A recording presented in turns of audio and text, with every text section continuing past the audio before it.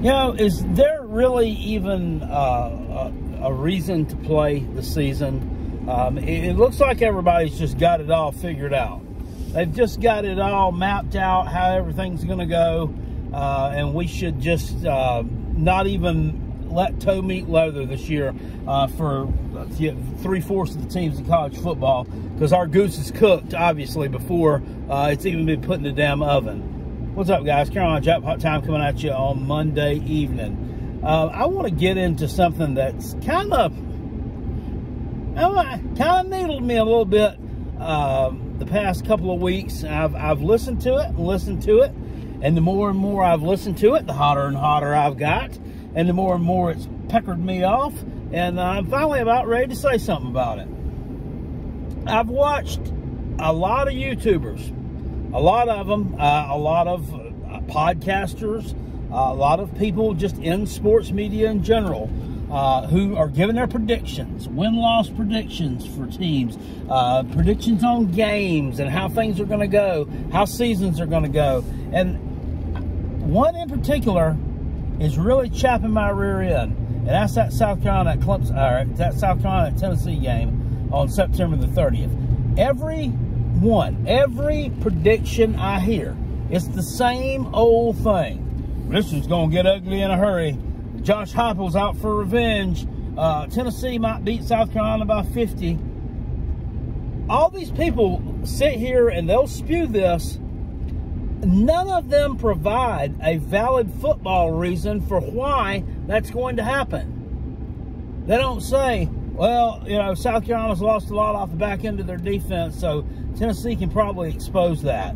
Or, uh, you know, I think South Carolina may have uh, trouble generating some pass rush on Joe Milton. Or I think South Carolina might not be able to tackle Jabari Smalls. Nothing. Uh, we don't. We don't have any of that. It's. It's just.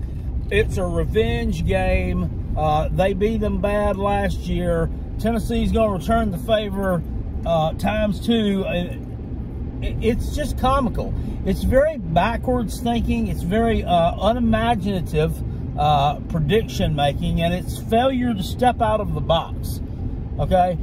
First of all, don't you think that uh, if South Carolina put that many points on them last year, that they might be capable of putting some points on them again? You think Tennessee shortened their defense up that much in a year?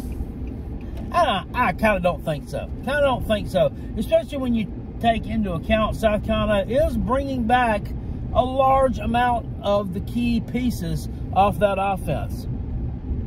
Yes, we lose Jaheim Bell. But we bring in Trey Knox from Arkansas, and I think he's going to be a serviceable replacement. I think Trey Knox is more of a pure tight end. Uh, I think he's got a longer frame, a bigger body, a better body, better looking body. I'm just kidding. Um, and then Dakereon Joyner looks like he's going to be replacing Marshawn Lloyd at running back. I mean, Dakereon Joyner hadn't spent half his career on the shelf. I'm sorry. I, I said it. I, I went on ahead and said it. There's a little inherent toughness there, and I think that could be addition by subtraction. I kind of hate the loss of Jordan Burch on the edge. He was getting better. He was playing better. Uh, but the stats just haven't been there for the past three years. I think the kid from Syracuse that South Carolina's bringing in is going to be a formidable edge rusher. I think that getting the linebacker Mo Kaba back and the defensive end Jordan Strahan, Strong, Strachan, I don't know how to pronounce his last name, back. As long as these guys are healthy, coming back from those ACL tears, they're going to be a huge benefit to that defense. South Carolina is not going to be uh, the old uh, the old class hobag uh, who sits uh, around and then lays back, spreads her legs wide open on prom night, and Tennessee and Josh Heupel are the uh, senior class, and they're just going to come get them some out time after time after time. That's not going to happen. Uh, and it's very backwards thinking and you're not showing a lot of football intelligence when you are uh, sitting here making these kind of predictions. You're just not. Uh, I have not made a prediction on that game. I haven't done my prediction video on the Gamecocks. So you don't know which way I'm going to go on it. You don't know which way I'm going to go on it. I will say this. I don't think the matchup favors South Carolina. It's a road game. Uh, it's a hostile environment. And it's a really good team they're playing. I don't think it favors them, but I'm not going to give you my official prediction on it. Not right now. I'm going to make you watch that video. But uh, get your minds out of the gutter. Stop thinking that South Carolina's just going to show up to get blown out. Because that's not going to happen. Uh, this series has been pretty hotly contested for the past 10 years or so. The past couple of years, the games have been blowouts. 2021, Tennessee blew us out. 2022, we blew Tennessee out.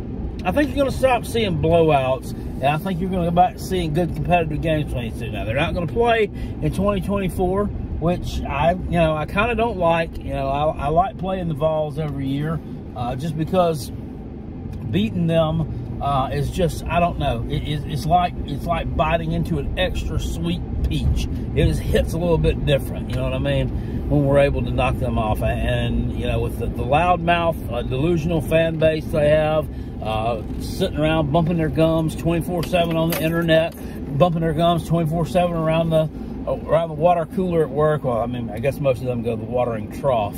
Uh, it, it, it's it's satisfying uh, to get a win over them. But that's all I got to say about it. Stop thinking that South Carolina's going to show up just to get blown out on September the 30th because you got another thing coming. I'll see you guys later on. Hit the like button on this video if you enjoyed it, please. And subscribe to the channel if you're not subscribed already.